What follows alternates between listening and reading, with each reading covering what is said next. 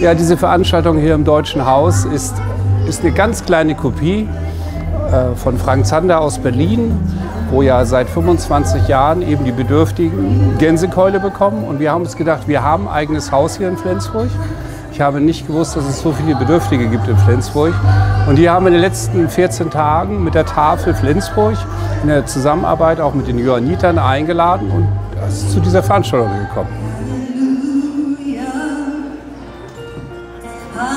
Es war einfach schön zu sehen, wie man in einem so besinnlichen und sehr ruhigen Rahmen so viel Gutes tun kann und den Menschen, die es nicht so dicke im Portemonnaie haben und denen es vielleicht gar nicht richtig gut geht, sehr viel Wertschätzung entgegenzubringen. Das ist einfach etwas, was zu Weihnachten dazugehört. Ähm, zusammenzukommen und miteinander wirklich Wertschätzung zu geben.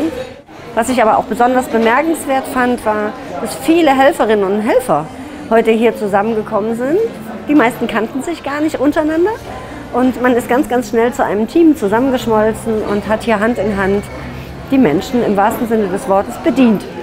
Heute standen die Menschen, denen es nicht so gut geht, hier mal im Mittelpunkt. Sie wurden von uns wertgeschätzt. Wir haben uns miteinander gut unterhalten.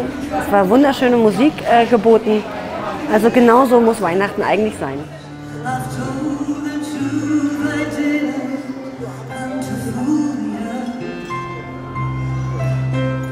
Also es wäre sehr toll. Also ich finde das toll ins Allgemeine, dass sowas für Leute gemacht worden ist, die nicht wirklich viel Geld haben und sich sowas nicht leisten können, so dass auch an den Kinder gedacht wurde und dass es einfach ein wunderschöner Abend war und alles einfach wundervoll war. Also es war echt toll.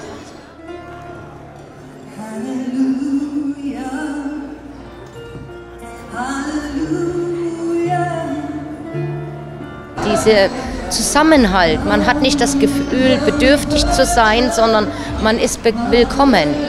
Dafür möchte ich einfach mich nur mal bedanken.